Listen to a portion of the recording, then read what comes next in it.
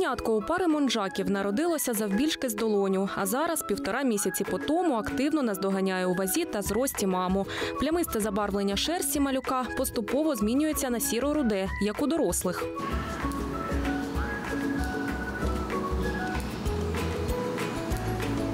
Дитинча харчується вже не тільки материнським молоком, а й куштує дорослу їжу. Улюблені смаколики, гарбуз, кавун та виноград. После месяца животное начинает ходить за мамой. Після місяця тварина починає ходити за мамою, повторювати звички батьків і вчиться жити, розвивається. До року він харчується із мамою у групі. Після року мати намагається його від себе відганяти.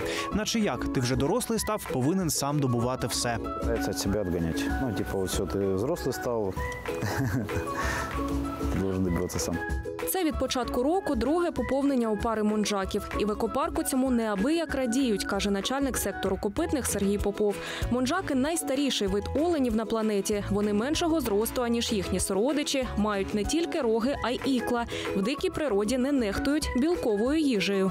Э, Они с- чем особенные, то что это один из самых древних. Вони у чому особливі? Це один із найдавніших оленів на планеті. Вони були ще тоді, коли були мамонти. Цікаві тим, що у самця ікла ростуть всередину щелепи, і плюс вони їдять мишей, гризунів. Вони, можна сказати, своєрідні хижаки. э, мышами, грызунами. Могут, э, ну, своеобразно они хищники. Монжаків називають оленями, що гавкають через звуки, які вони видають, коли відчувають небезпеку.